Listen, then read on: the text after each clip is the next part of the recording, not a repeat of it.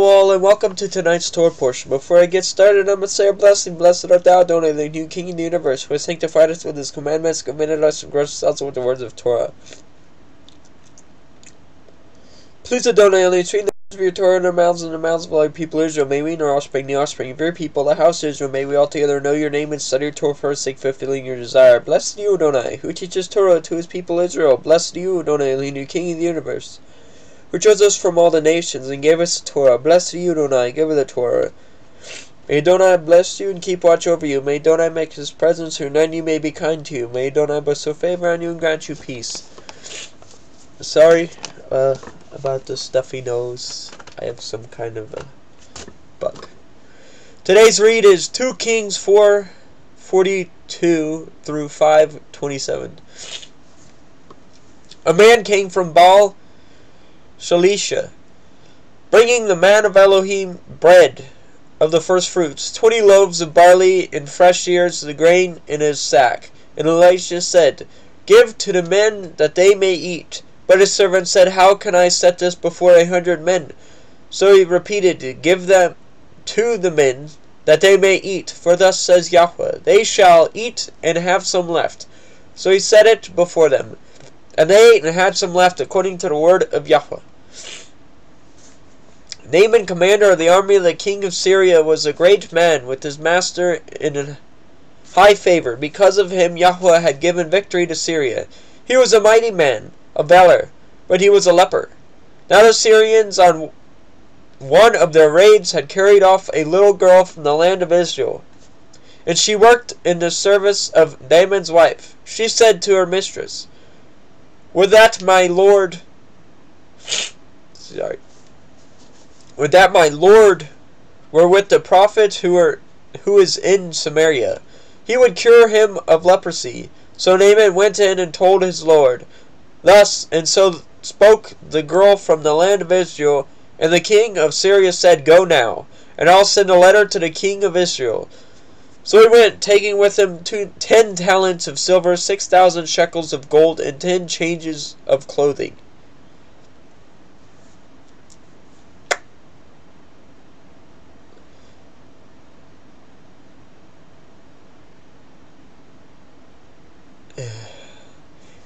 And he brought the letter to the king of Israel, which read, When this letter reaches you, know that I have sent to you Naaman my servant, and that you may cure him of his leprosy. And when the king of Israel read the letter, he tore his clothes and said, I am, am I Elohim to kill and to make alive? That this man sends word to me to cure a man of his leprosy? Only consider and see how he is seeking a quarrel with me.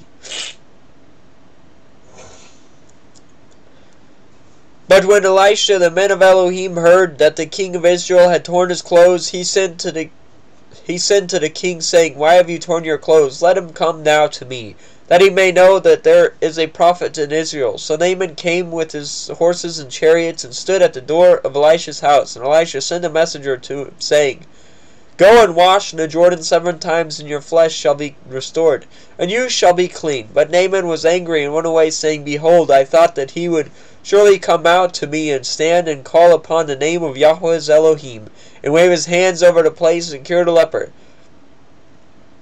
Are not Abana and Pharpar, the rivers of Damascus, better than all the waters in Israel? How could I wash in them and be clean?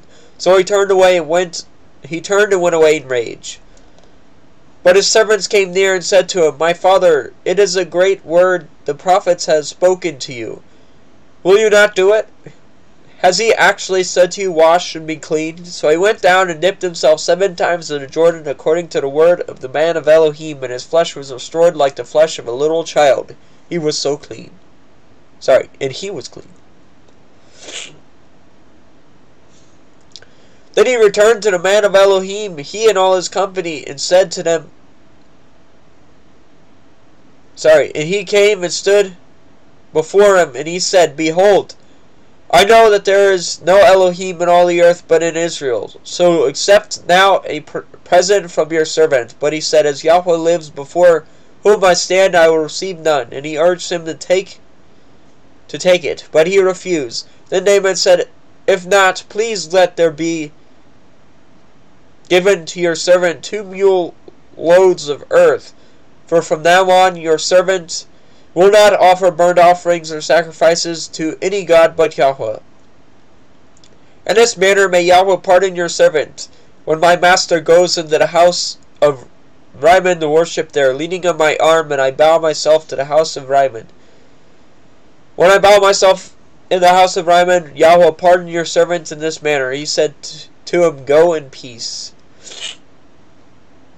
But when Naaman had gone from him a short distance, Gehazi, the servant of Elisha, the man of Elohim, said, See, my master has spared this Naaman the Syrian, and not accepting from his hand what he was brought.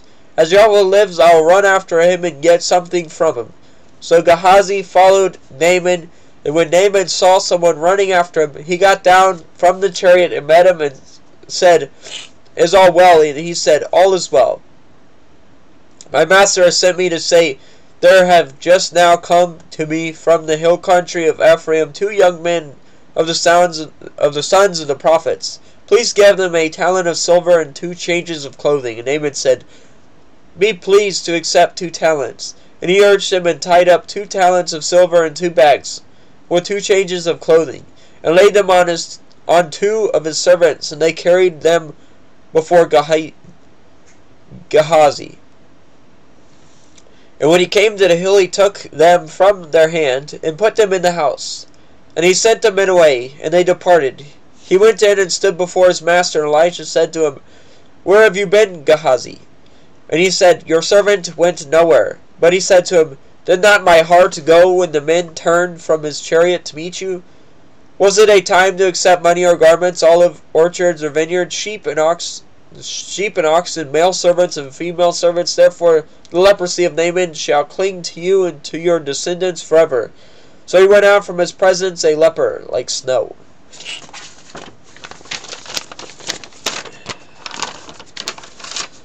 Ugh.